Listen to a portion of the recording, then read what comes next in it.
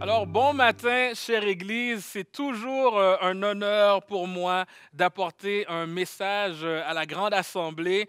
Donc, on est dans notre thématique euh, de Noël qui se nomme COVID Navidad. Alors, c'est que, alors que c'est simplement pas possible d'adresser la réalité de nos vies sans mentionner COVID et ses conséquences. J'aimerais affirmer que c'est Noël malgré tout. C'est Noël malgré tout. Tout, rappelons-nous que, que, la plus grande raison pour laquelle que, euh, nous prenons le temps, du moins nous les chrétiens, de s'arrêter et de célébrer ensemble, c'est parce qu'on est reconnaissant. On est reconnaissant envers Dieu de l'œuvre merveilleuse qu'il a fait il y a de plus de 2000 ans lorsqu'il s'est dépouillé afin de se faire chair pour nous sauver. Donc malgré tout, c'est le titre euh, de mon message et pour ce faire, tournons nos regards vers un des textes de la Nativité qu'on retrouve en Luc 2. Et euh, c'est le théologien Feu, R.C. Sproul, qui dira que, que le texte qu'on s'apprête à voir est l'un des récits les plus magnifiques qu'on retrouve dans toutes les Écritures. Donc, euh, le texte est de quelques versets, euh, mais je vais prendre le temps de lire du verset 1 à 20 dans son entièreté. Je trouve que c'est important de s'attarder à la lecture de la parole de Dieu dans nos réunions, et, ce, particulièrement un texte de la Nativité euh, durant la période de Noël. Donc, Luc 2, verset 1 à 20. Luc 2, verset 1 à 20. Je débute la lecture. En ces jours-là parut un décret de César euh, Auguste en vue du recensement de toute la terre habitée. Ce premier recensement eut lieu pendant que Quirinius était gouverneur de Syrie. Tous allaient se faire recenser, chacun dans sa propre ville. Joseph aussi monta de Galilée, de la ville de Nazareth, pour se rendre en Judée, dans la ville de David, appelée Bethléem, parce qu'il était dans la maison, de la maison et de la famille de David, afin de se faire inscrire avec Marie, sa fiancée, qui était enceinte. Pendant qu'ils étaient là, le temps où elle devait accoucher arriva. Et elle mit au monde son fils premier-né. Elle l'emmaillota et l'installa dans une mangeoire parce qu'il n'y avait pas de place pour eux dans la salle. Il y avait dans cette même région des bergers qui passaient dans les champs les veilles de la nuit pour garder leurs troupeaux. L'ange du Seigneur survint devant eux et la gloire du Seigneur se mit à briller tout autour d'eux. Ils furent saisis d'une grande crainte. Mais, mais, mais l'ange leur dit, N'ayez pas peur, car je vous annonce la bonne nouvelle d'une grande joie qui sera pour tout le peuple aujourd'hui.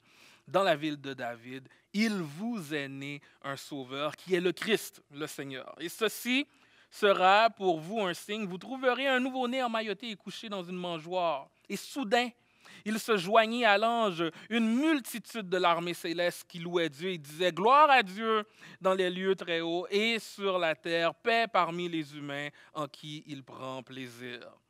Lorsque les anges se furent éloignés d'eux vers le ciel, les bergers se dirent les uns aux autres Allons donc jusqu'à Bethléem et voyons ce qui est arrivé, ce que le Seigneur nous a fait connaître. Ils s'y rendirent en hâte et trouvèrent Marie, Joseph et le nouveau-né couchés dans la mangeoire. Après l'avoir vu, ils firent connaître ce qui leur avait été dit au sujet de cet enfant. Tous ceux qui les entendirent s'étonnèrent de ce que disaient les bergers. Marie retenait toutes ces choses et y réfléchissait. Quant aux bergers, ils s'en retournèrent en glorifiant et louant Dieu pour tout ce qu'ils avaient entendu et vu, conformément à ce qui leur avait été dit. Conformément à ce qui leur avait été dit. Vous avant euh, d'entrer dans mon premier point, j'aimerais, je veux simplement établir quelque chose ici. Je veux, je veux jeter une fondation. Notre texte n'a pas commencé en disant Il était une fois dans une contrée fort lointaine. Non, non, parce que notre texte, il ne s'agit pas d'un conte de fées. Il ne s'agit pas d'une légende dans un, un passé fort, fort lointain. Non, notre texte s'insère dans le contexte de la vraie histoire, de notre histoire. Dans notre passage, on voit l'histoire de deux rois qui est à l'œuvre. Le premier roi règne sur le trône en tant qu'empereur de la plus grande puissance mondiale de l'époque, César Auguste. Et l'autre roi n'est pas euh, sur un trône, mais plutôt emmailloté euh, dans une mangeoire, une crèche. Et ce petit roi est le roi des rois. il règne sur le roi à Rome. Le texte parle d'un décret qui est issu et exécuté par l'empereur à Rome. Tous doivent retourner chez eux pour le recensement, pour garder à jour ceux qui sont taxés par le gouvernement de Rome.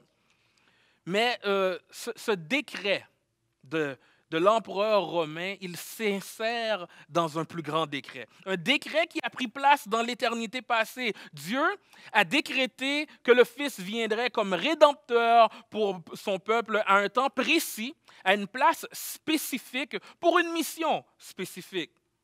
C'est le décret euh, de César qui a fait en sorte que, que Joseph, euh, accompagné de Marie, s'est rendu à Bethléem. Donc, je peux comprendre que logiquement, les gens pourraient penser à tort que le lieu de naissance de Jésus a été déterminé par le décret de César. Mais la réalité, c'est que c'est le décret de Dieu, c'est le plan de Dieu qui était à l'œuvre et en action. Parfois, tu, penses que, que ce sont les gens ou les circonstances qui dirigent ta vie. Mais non, non, mon ami, Dieu reste en contrôle. On pourrait regarder à l'année 2020 et se dire, pour moi, là, Dieu, en bon hébreu classique, il a manqué sa shot. Il a manqué sa shot pour moi. Tu regardes à ta vie et, tu penses que tu es dirigé par les circonstances ou les gens qui t'entourent. Mais mon ami, Dieu est en contrôle. Quand, les drames se, se produisent, pense pas que tu es à la merci du hasard. Dieu est en contrôle. Que tu sois un étudiant, puis tu te rends compte, c'est la fin de session qui vient terminer. Waouh, tu apprends que tu viens de rater un examen important, puis ça vient changer tes plans. Dieu est en contrôle. Tu investis temps et énergie et argent depuis un bon bout de temps sur un projet qui semble jamais aboutir, ou encore ton poste est aboli, tu ne sais pas quoi faire, les finances vont pas bien, puis tu vois sincèrement pas le bout du tunnel. Peut-être que tu ne comprends pas. Peut-être que tu ne comprends pas ce qui se passe, mais j'aimerais que tu puisses repasser euh, dans ton cœur ces paroles qu'on retrouve en Proverbe 16, 9. Le cœur de l'homme médite sa voix, mais c'est l'Éternel qui dirige ses pas. Peut-être que tu ne comprends pas. Mais repasse les paroles de Proverbe 19, 21 qui dit Il y a dans le cœur de l'homme beaucoup de projets, mais c'est le décès de l'Éternel qui s'accomplit. Vous savez, notre vie, elle n'est pas dirigée par, par le décret des hommes ou par les circonstances de vie. Et, et, pense même pas que, que, tu as autant de pouvoir que ça sur ta vie. Dis plutôt, comme Jérémie 10, 23, Je le sais, ô Éternel, la voix de l'homme n'est pas en son pouvoir. Ce n'est pas à l'homme, quand il marche, à diriger ses pas. Donc peut-être que tu ne comprends pas ce qui se passe en ce moment pour l'instant dans ta vie, mais un jour, un jour, peut-être que tu comprendras et tu vas être capable de dire, c'est quoi, il était en contrôle vraiment. Il était en contrôle, il était sur son trône. Proverbe 16, 1 nous dit L'homme fait des projets, mais celui qui a le dernier mot, c'est l'Éternel. En, 1961, euh, les Russes euh, ont envoyé le premier homme dans l'espace, euh, du nom de Yuri Gagarin. Le premier ministre russe, Nikita Khrushchev, a alors dit Lorsque Gagarin était dans l'espace, il a découvert qu'il n'y avait pas de Dieu là. Et comme réponse, C.S. Lewis a écrit un article The Seeing Eye, l'œil qui voit. Et voici une portion de son article qui va comme suit. S'il y avait un Dieu qui nous avait créés, on ne le découvrirait pas en allant euh, dans les airs. Dieu n'interagirait pas avec les êtres humains de la même façon qu'un homme du deuxième étage agit avec un homme au premier étage. Il interagirait avec nous de la façon que Shakespeare interagit avec Hamlet. Shakespeare est le créateur du monde de Hamlet et de Hamlet lui-même. Hamlet peut avoir des connaissances sur Shakespeare seulement si l'auteur euh, révèle des informations sur lui-même dans la, dans la pièce de théâtre. De la même façon, la seule manière d'apprendre sur Dieu, si Dieu s'est révélé. C'est la seule façon d'apprendre sur Dieu si Dieu s'est révélé. Voilà, voici la réponse de C.S. Lewis à ce que le premier ministre russe euh, avait dit. Mais si je peux me permettre euh, d'ajouter, Dieu ne nous a pas simplement donné des informations euh, sur sa personne. Ce que, proclame le christianisme est encore plus grandiose et merveilleux que ça. Hein. Il s'est inséré lui-même dans l'histoire, dans sa création. Il est venu dans notre monde afin de mourir pour nous. Il s'est incarné, il s'est fait homme est venu et a vécu parmi nous. Jean le dit dans ces mots euh, qu'on retrouve en Jean 1, 14, et la parole a été faite chair et elle a habité parmi nous, pleine de grâce et de vérité, et nous avons contemplé sa gloire, une gloire comme la gloire du Fils unique venu, du Père. C'est le pasteur Mark Jones qui dira, l'incarnation est la plus grande merveille que Dieu ait jamais opérée. Vous savez, certains ont appelé euh, l'incarnation, euh, à juste titre, le miracle de tous les miracles. Et c'est quelque chose qu'on ne peut pas comprendre. Comment nous, être euh, finis, pouvons-nous concevoir l'infini? C'est le théologien néerlandais Herman Bavinck, il résume bien ses propos lorsqu'il dit, je cite, Il nous est totalement incompréhensible que Dieu se révèle et, dans une certaine mesure, se fasse connaître aux êtres créés. L'éternité au sein du temps, l'immensité dans l'espace, l'infini dans le fini, l'immuabilité dans le changement, le je suis dans le je deviens, le tout, pour ainsi dire, dans ce qui compte pour rien. Ce mystère ne peut pas être compris, il doit simplement être reçu avec reconnaissance. Mais le mystère et la contradiction ne sont pas des synonymes. Vous savez, le, Christ s'est incarné dans des circonstances bien humbles. Les hôtels et endroits où dormaient les visiteurs étaient à pleine capacité. Plusieurs s'étaient rendus à Bethléem pour le recensement. Le texte nous dit qu'il n'y avait pas de place pour eux dans la salle. Alors il est né, Marie l'emmaillota et l'installa dans une mangeoire, cet endroit où vont se nourrir les animaux. Le prédicateur Simon euh, Fidati de Cassia a dit Il n'y avait pas de place à l'auberge pour l'enfant de naissance miraculeuse. La terre n'a pas reçu son Dieu. Il n'a pas de demeure convenable ici-bas. Celui que le ciel et la terre ne peuvent contenir dort dans une crèche. Il dira encore, il a été totalement dépendant d'une femme qui dépendait totalement de lui non seulement euh, les circonstances de, sa naissance furent humbles, il a choisi de, révéler sa venue à des gens bien humbles. Le texte nous dit que, que l'ange est apparu euh, aux bergers. et, les bergers, vous savez, étaient des hommes bien particuliers leur emploi était considéré euh, comme étant de bas niveau, ils n'étaient pas éduqués, euh, considérés comme étant ignorants. On les percevait comme étant un peu barbares, un peu bizarres, puis au point que, au point que leur témoignage n'avait aucun poids en justice. C'est à ce point-là que les gens euh, les méprisaient, que la société avait une mauvaise estime d'eux. Dans les chants que notre texte nous partage, dans les champs étaient parmi les gens les plus méprisés de la société. Ces bergers vivaient à l'extérieur, dormaient dans des petites huttes et ils veillaient sur des troupeaux qui bien souvent ne leur appartenaient pas. Donc de jour, ils faisaient paître les troupeaux, puis de nuit, à tour de rôle, ils veillaient pour protéger les, brebis des voleurs ou des prédateurs, des animaux prédateurs. Quelques-uns restaient éveillés pour surveiller les troupeaux alors que les autres dormaient, puis parfois, c'est le bêlement d'une brebis qui venait briser le silence. C'est de cette nuit que nous parle le chant, douce nuit, sainte nuit. C'est vraiment, c'était vraiment une douce nuit, une sainte nuit. Donc, on a ici un premier Noël bien humble. Pourquoi s'être révélé au berger en premier? Pourquoi s'être révélé au berger en premier? Mais je pense que c'est pour démontrer qu'il est approchable accessible. Il n'est pas né dans un palais inaccessible, hors, de portée. Il n'y a, pas des gardes qui nous empêchent de venir à lui. Si tu as la chance de rencontrer le premier ministre du Canada, donner un speech, va, va essayer de le rejoindre. Cours, cours vers lui et tu vas voir s'il est si accessible que ça. Essaye de l'appeler sur son cellulaire personnel. Vous savez, les stars, les gens de la royauté, les gens d'influence, ils ont leur garde du corps. Mais la personne qui a le plus d'influence, le roi des rois, il est accessible. Tu peux t'approcher de lui. Il veut t'accueillir. Il veut t'accueillir. Je vais lire une, portion du texte au verset 9. L'ange du Seigneur survint devant eux et la gloire du Seigneur se mit à briller tout autour d'eux. Ils furent saisis d'une grande crainte.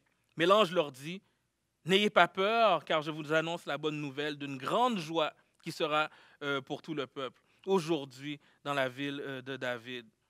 il vous est né euh, un sauveur qui est le Christ le Seigneur. Et ceci sera pour vous un signe. Vous trouverez un nouveau-né emmailloté et couché dans une mangeoire. Et soudain, il se joignit à l'ange une multitude de l'armée céleste qui louait Dieu et disait Gloire à Dieu dans les lieux très hauts et sur la terre, paix parmi les humains en qui il prend euh, plaisir.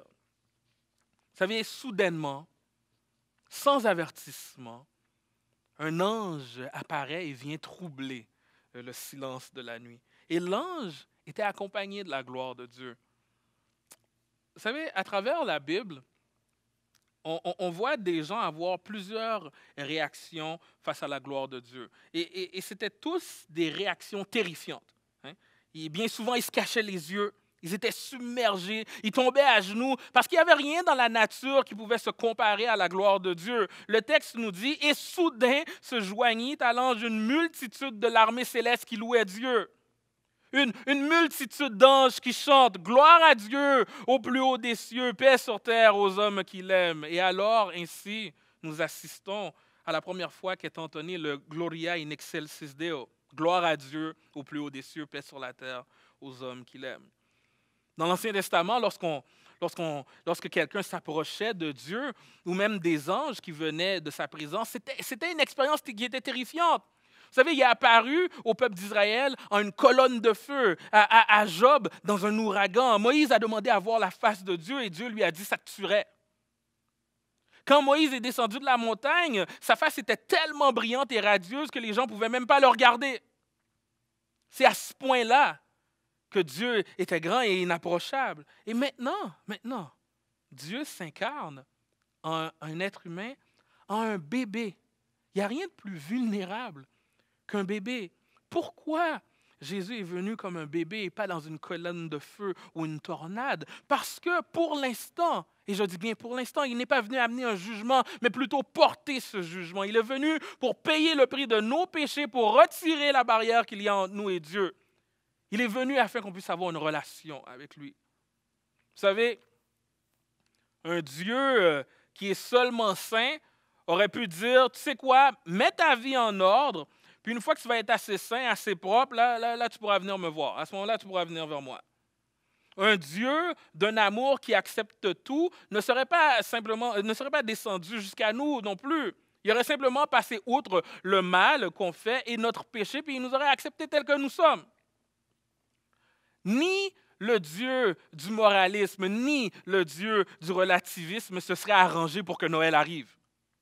Le Dieu biblique, par contre, lui est infiniment saint. Donc, il n'aurait pas pu faire euh, simplement fi de notre péché. Il faut qu'il règle la question du péché. Il faut qu'il règle la question du péché. Et ce Dieu biblique euh, est également infiniment amour. Il, il sait qu'on ne pourra jamais grimper vers lui. Il le sait. Donc, il sait, lui, il est descendu vers nous. Il n'a pas envoyé quelqu'un. Il n'a pas envoyé un prédicateur ou une équipe tactique spéciale. Il est venu lui-même nous chercher.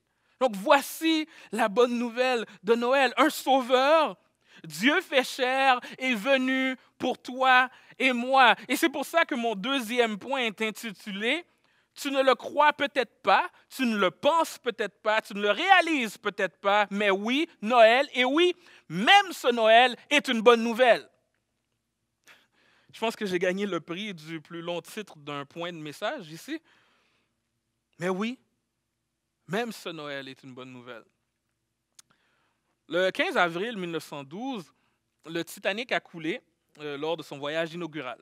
Puis euh, les trois quarts de ces passagers sont morts dans l'eau glacée alors que les canaux de sauvetage étaient à moitié vides.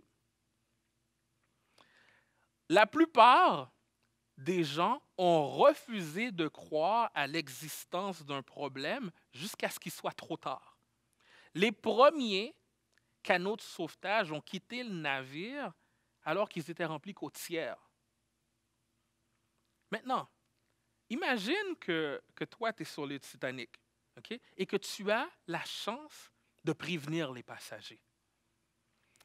Comment vas-tu les convaincre d'aller sur les canaux de sauvetage?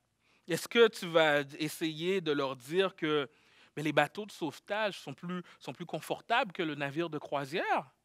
Est-ce que tu vas dire que comme mais venez, la vie est plus belle sur les canaux de sauvetage? Non, bien sûr que non, parce qu'ils vont simplement te regarder et dire mais t'as pas rapport.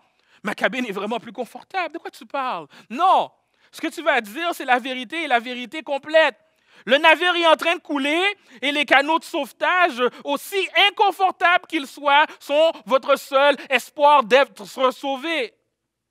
Et c'est un message similaire euh, qu'on doit donner aux personnes qui nous entourent. Les gens qui nous entourent sont comme le passager le plus heureux et confortable du Titanic. Ils sont voués à couler. Et aussi fantastique et confortable que ta vie sans Jésus est, mon ami, j'ai une mauvaise nouvelle pour toi. Le bateau, il coule. Le bateau coule. Mais j'ai une bonne nouvelle pour toi, une nouvelle qui fait écho à ce que l'ange dit au berger. Un sauveur nous est né, repens-toi devant Dieu avant qu'il ne soit trop tard. Dieu aurait pu euh, simplement nous faire part de ses enseignements, puis ça, ça aurait été fantastique. Mais la raison de l'incarnation, c'est pour qu'on puisse avoir plus que, que ces enseignements. C'est pour qu'on puisse avoir un contact, une relation, pour qu'on puisse être réconcilié avec lui. Donc, durant ce, temps des fêtes, on peut passer complètement à côté euh, du plus beau des cadeaux. On peut passer à côté de ce qui est le plus bénéfique pour nous. Vous savez, donne à un enfant qui a 3-4 ans le choix entre un chèque de 20 000 dollars et le beau gros camion qu'il voulait tellement. Et je te garantis, l'enfant va prendre le camion. Il va, prendre le camion. Tu auras beau lui expliquer que comme, mais non, mais non, mais non, mais non. Si tu attends, tu vas pouvoir t'acheter plein de camions avec le chèque, comme beaucoup de camions avec le chèque. L'enfant veut rien savoir parce qu'il ne connaît pas la valeur du chèque. L'enfant ne sait pas, mais il passe complètement à côté du cadeau qui serait le plus bénéfique pour lui. Et quelle tristesse si en cette saison où est-ce qu'on célèbre la naissance de Jésus, tu passes complètement à côté de la raison de cette période. Ma prière est que vous puissiez être réconciliés avec Dieu et vivre pour lui. Lisons ensemble, relisons ensemble le verset 15 à 20. Lorsque les anges se furent éloignés euh, d'eux vers le ciel, les bergers se dirent les uns aux autres, allons donc jusqu'à Bethléem et voyons ce qui est arrivé, ce que le Seigneur nous a fait connaître. Ils s'y rendirent en hâte et trouvèrent Marie, Joseph et le nouveau-né couché dans la mangeoire. Après l'avoir vu, ils firent connaître euh, ce qui leur avait été dit au sujet de cet enfant. Tous ceux qui les entendirent s'étonnèrent de ce que disaient les bergers. Marie retenait toutes ces choses et y réfléchissait. Quant aux bergers, ils s'en retournèrent en glorifiant et louant Dieu pour tout ce qu'ils avaient vu et euh, entendu, entendu et vu, conformément à ce qui leur avait été dit. Donc, mon souhait en cette période des fêtes, c'est qu'on puisse euh, écouter et repasser les paroles de la Nativité, le vrai sens de Noël. Le verset 20 nous, nous, dit que les bergers sont partis en chantant la gloire de Dieu et le louaient pour tout ce qu'ils avaient euh, entendu et vu. Et le verset 18 nous mentionne que toutes les personnes qui ont entendu les bergers furent étonnées. Une réaction un peu plus sobre. Pourquoi? Pourquoi? Les bergers étaient émerveillés. Waouh, ils chantaient la gloire de Dieu. Et les autres étaient étonnés, surpris mais, pas aussi intense que les bergers. pourquoi cette, différence? Euh, laissez-moi vous proposer une hypothèse ici. Peut-être parce que les, les, bergers, eux, ils ont entendu ce message de la part des anges. Et les autres ont entendu ce message de la part de bergers ordinaires. On a déjà vu euh, que les bergers n'étaient pas nécessairement les plus en vue de la société. Ils étaient considérés comme des barbares, ils n'avaient pas de crédibilité sociale. Les bergers, eux, ont entendu de la part des anges. On peut facilement s'imaginer ces anges majestueux comme étant des orateurs captivants et fascinants, tout le contraire de ces pauvres bergers qui n'avaient probablement pas leur éloquence. Vous savez, de nos jours, si un message est difficile à croire, ou difficile à accepter, ou si un message nous défie, la plupart du temps, les gens vont tenter de discréditer le messager. Pourquoi je devrais croire quelqu'un comme ça?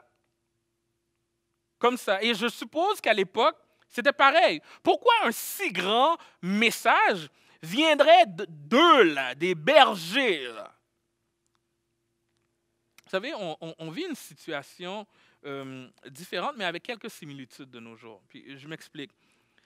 les auteurs de la Bible ont reçu des révélations directes de Dieu. Il y en a également qui ont vu des anges. Ils ont vu des choses incroyables. Hein. Ils ont eu des visions. D'autres, d'autres connaissaient Jésus personnellement. Ils l'ont côtoyé. Ils, ils ont touché Jésus en chair et en os. Et nous, aujourd'hui, on a un livre. Ce qu'on a aujourd'hui, c'est un livre. Et avec ce livre, ne vient pas des anges majestueux pour aider à notre compréhension. Non, c'est des gars bien ordinaires comme moi qui vous prêchent. Donc, euh, à la place d'un ange, coucou, c'est moi. Vous savez, ma femme m'a déjà appelé mon ange, mais je suis au courant que je ne suis pas aussi glorieux qu'un ange. Dans, notre société où nos sens, euh, particulièrement la vue et l'ouïe, euh, tendent à être surstimulés, hein, un long et ancien livre comme la Bible peut avoir un effet rebutant pour plusieurs. La parole de Dieu, elle ne vient pas d'une façon what Par contre, je tiens à dire que lorsqu'on s'attarde un peu à comment ce livre s'est rendu jusqu'à nous, on découvre en réalité que la Bible a une histoire fascinante unique. On voit la main de Dieu à travers son histoire, sa transmission. Ce livre n'a pas son égal. Rien, rien ne se compare à la Bible. Il est le best-seller de tous les temps et d'une bonne distance. Et ce n'est pas pour rien, ce n'est pas le, fruit du hasard. Dieu est à l'œuvre. Mais à un premier coup d'œil, plusieurs pourraient simplement s'arrêter au fait qu'une vérité si grande soit contenue dans quelque chose d'aussi ordinaire qu'un livre. Et pourtant, vous savez, on retrouve dans l'Ancien Testament l'histoire de Dieu qui utilise un âne pour parler à Balaam. Et voici la leçon ici. Puis je vais citer Timothée Keller qui dit Le médium n'est pas le message. Nous ne devons pas ignorer les vérités inconfortables simplement parce qu'elles proviennent d'un simple messager ordinaire. Je trouve ça fascinant que, que dès son entrée dans le monde, Jésus était humble et sans fanfare. Sa mort s'est faite dans l'humiliation, sans fanfare, Et aujourd'hui, sa parole perdure sans fanfare et pourtant des millions, des millions et des millions de vies sont continuellement changées par la vérité qu'on retrouve dans ce livre. On peut te dire, mais je comprends pas comment ça se fait que tu laisses un vieux livre comme ça te dire quoi faire. Mais il y a des centaines de personnes qui écoutent ce message, qui peuvent témoigner avec moi à quel point ce livre les a impactés au sens le plus profond du terme. Il y, a des, chrétiens qui peuvent témoigner que ce livre a des vérités éternelles qui changent littéralement des vies. Donc, mon ami, ne laisse pas le médium du message te faire passer à côté du message le plus important de ta vie. vous savez, on a, on a dans notre euh, passage un verset qui passe presque inaperçu. Euh, vous savez, on, pourrait retirer ce verset-là et on dirait que, que ça ne ferait pas grand changement. Ça ne changerait pas grand-chose au sens de notre texte. Retire ce verset de notre passage et le texte se tient debout. C'est au verset 19. Le verset 19 nous dit Marie retenait toutes ces choses et y réfléchissait. Une autre version dira Marie gardait toutes ces choses et les repassait dans son cœur. Vous savez, toutes, toutes les merveilles tout ce que les bergers racontaient. Euh, ils avaient vu des anges, une multitude d'anges. Un, ange leur a dit exactement ce qui allait arriver et c'est arrivé. Toutes, ces belles choses-là, elle les repassait dans son cœur. Pourquoi le texte prend le temps de nous mentionner ça? Comme je vous l'ai dit, ce verset-là aurait pu être absent, ça n'aurait pas changé grand-chose au sens du texte. Savez, on voit dans, Luc 1 que, que, Marie avait aussi eu une rencontre avec un ange. Et, et d'après Luc, le dialogue qu'elle a eu avec l'ange n'a jamais laissé sous-entendre les circonstances particulières de la naissance de Jésus. Elle aurait pu croire à tout ce qu'il y a de plus glorieux Imaginez un ange qui vous dit, tu as trouvé grâce devant Dieu, tu deviendras enceinte un fils, tu l'appelleras Jésus, il sera grand et appelé fils du Très-Haut. Il régnera sur la maison de Jacob éternellement, son règne n'aura pas de fin. Le saint enfant qui naîtra de toi sera appelé fils de Dieu. Et ensuite, l'ange lui dit tout ça. Puis ensuite, il y a Élisabeth qui vient également avec ses grandes déclarations, qui lui dit, comment m'est-il accordé que la mère de mon Seigneur vienne me voir? Béni sois-tu d'entre toutes les femmes et béni soit le fruit de ton ventre. Après la rencontre avec l'ange, les grandes déclarations d'Élisabeth, il y a quelques mois qui se sont écoulés. Puis elle a fait un long voyage, enceinte jusqu'aux dents. Elle a dû prendre la route et faire voyage pour se rendre dans une ville et accoucher dans une étable et mettre son bébé dans une mangeoire. Vous savez quoi? Peut-être que Marie, elle avait besoin de repasser ces choses dans son cœur parce que les choses ne se sont pas passées comme elle le pensait. Rien, rien ne nous laissait sous-entendre que c'était une étable que le Seigneur serait né et qui serait déposé dans une mangeoire. Rien, ne laissait euh, euh, ce, scénario, entrevoir ce scénario décevant pour le roi des rois. Peut-être que peut-être qu'elle était triste. Peut-être qu'elle était déçue. Le texte ne nous le mentionne pas. Hein. Elle ne nous mentionne pas qu'elle avait des doutes ou quelque chose comme ça, mais on, ne peut que spéculer ici. Mais peut-être qu'elle ne s'attendait pas du tout à accoucher dans des circonstances comme ça. Marie a, a probablement dû repasser ses paroles dans son cœur parce qu'en regardant autour d'elle, elle voit rien qu'à l'apparence de royauté. Là. Elle a dû repasser ses paroles dans son cœur et dire, ben, OK, quand même, Dieu est à l'œuvre, quand même, Dieu est à l'œuvre. Et, plus tard, dans la vie de son fils, quand, quand elle voyait les, que les gens le rejetaient, que, personne voulait, que des personnes voulaient sa peau, elle a dû repasser ses paroles dans son cœur et dire, ah, mon Dieu est à l'œuvre, mon Dieu est à l'œuvre. Et certainement, lorsqu'au pied de la croix, elle a vu son fils se vider de son sang, elle a dû repasser ses paroles. Elle avait besoin de se rappeler que malgré l'angoisse, malgré les circonstances troublantes, le plan de Dieu est à l'œuvre, il est en contrôle. Parfois, tu as également, toi qui m'écoutes, tu as besoin de repasser ces paroles-là dans ton cœur, les promesses de Dieu dans ton cœur. Tu as besoin de dire, malgré l'angoisse et les circonstances troublantes, le plan de Dieu est à l'œuvre, il est en contrôle. Dieu n'est pas pris au dépourvu. Il n'est pas surpris par la vie comme nous on l'est.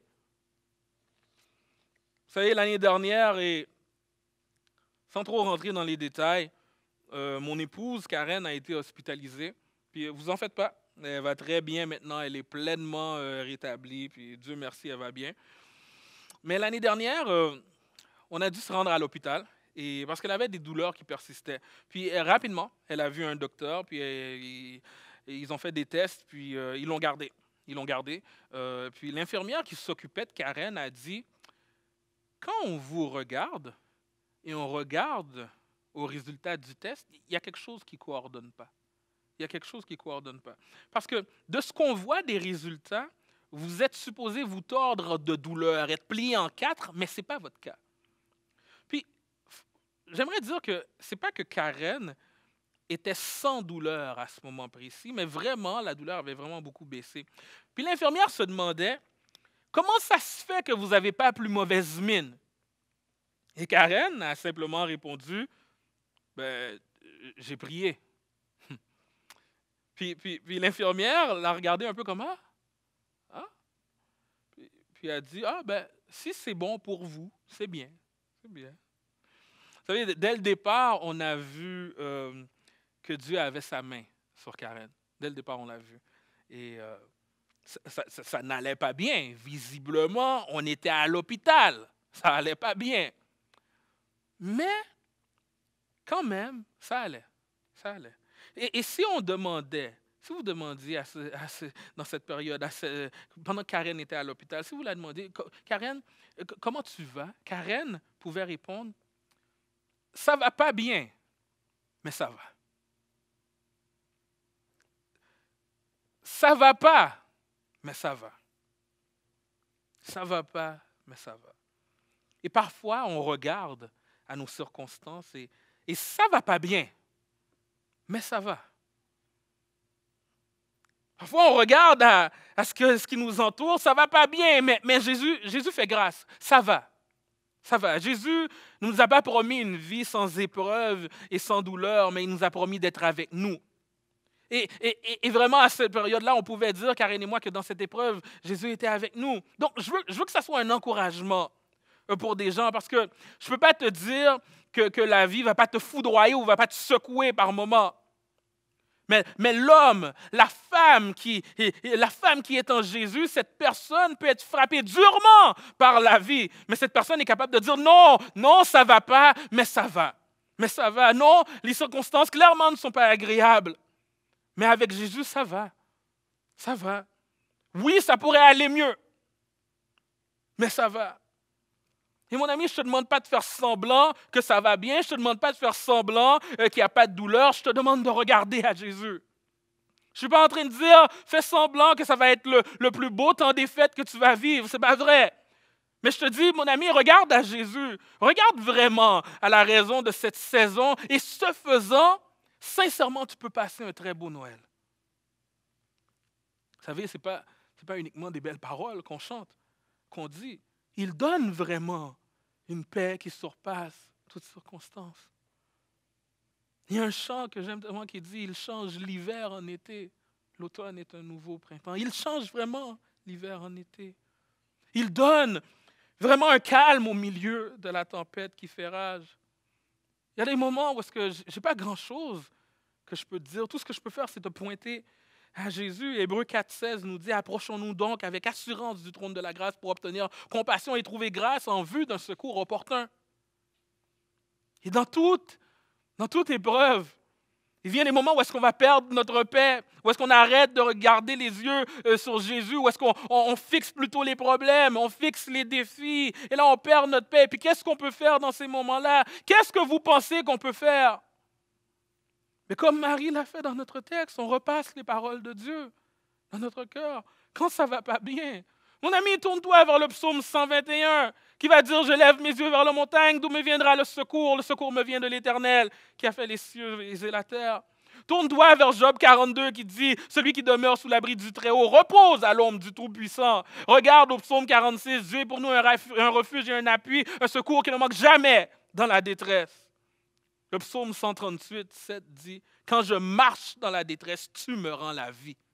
Wow! Psaume 138 au verset 7. Quand je marche dans la détresse, tu me rends la vie. on arrive euh, maintenant à la fin euh, du message, puis je vais terminer avec cette illustration. Imagine que durant une froide soirée d'hiver, Imagine que COVID est terminé là, OK? Tu es dans un Starbucks, OK?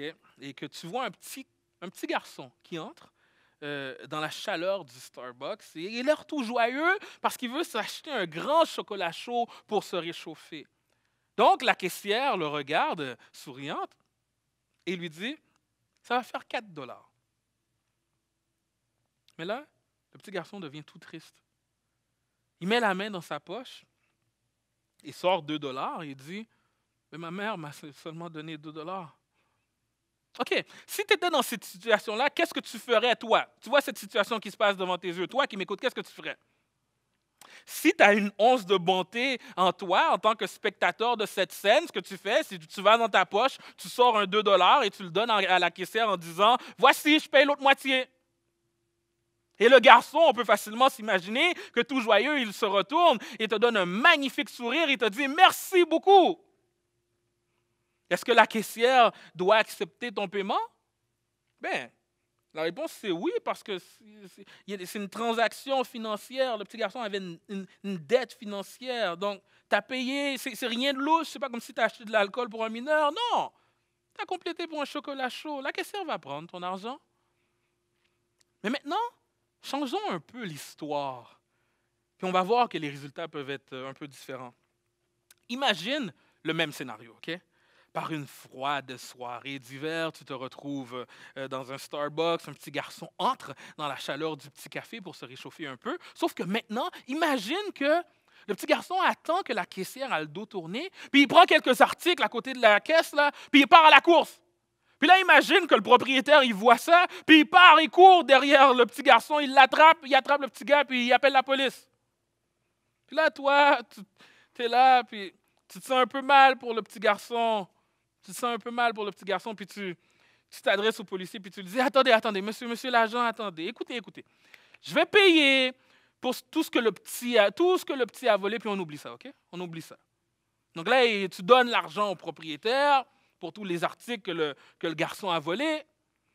Mais le policier regarde le propriétaire et demande Est-ce que vous allez intenter une action, une poursuite Parce que le policier comprend que le propriétaire n'est pas obligé d'accepter ton, paiement. Parce que maintenant, ce n'est plus une transaction financière qu'on parle. C'est une loi qui a été brisée. Il y, a, une dette morale qui a été contractée. Le propriétaire est libre d'accepter ton paiement ou de le refuser. Et, et, ce scénario, ce deuxième scénario nous aide à comprendre c'est quoi que Jésus a fait pour nous. Vous savez, comme, comme le garçon dans notre histoire, on n'a pas, pas les fonds nécessaires pour avoir le café. On n'a pas les moyens pour hériter la vie, pour mériter la vie éternelle. Mais, ça ne s'arrête pas là. On a aussi une dette morale envers Dieu. On offense Dieu par nos péchés, par notre état pécheur. Et voici, voici la bonne nouvelle de Noël. Voici pourquoi on célèbre. Voici pourquoi je vais être reconnaissant ce Noël. Covid, pas Covid, je vais être reconnaissant. Voici pourquoi les chrétiens, on célèbre. Je n'ai pas les moyens d'avoir la vie éternelle. Non seulement ça, je suis une offense pour Dieu, mais Dieu m'a tellement aimé qu'il s'est incarné il y a plus de 2000 ans et sa mission sur terre était de venir mourir pour toi et moi. On a une dette morale envers Dieu. Et Dieu a décidé d'envoyer son Fils dans le monde pour payer le prix de notre dette. Et le, le Père a accepté le paiement du Fils parce qu'on ne pouvait pas payer cette dette. Ça t'est déjà arrivé de passer ta carte et voir manque de fonds? Mon ami, devant la machine Interact divine, tu as un manque de fonds. Mais Jésus, qui est le plus, plus fidèle que ton ami le plus fidèle, il est là et il a pris ta facture. Jésus est venu pour mourir afin de payer euh, ta dette, notre dette. Et sache Sache que ce ne sont pas que des simples clous des soldats romains qui l'ont retenu à la, croix. Le roi des rois, le Dieu puissant, le Verbe incarné, le prince de paix, le, le Rédempteur adorable n'a pas été retenu par des clous faits de la main des hommes. Non, ce qu'il a retenu à la croix, c'est son amour pour toi et moi. Alors oui, ça va être un Noël bien particulier. Je vais être seul avec ma femme. Mais comme les bergers dans notre texte, on va glorifier, puis on va louer Dieu ensemble, puis on va entonner le chant des anges. Gloire à Dieu au plus haut des cieux, paix sur la terre aux hommes qui l'aiment. Soyez bénis, chantons ensemble.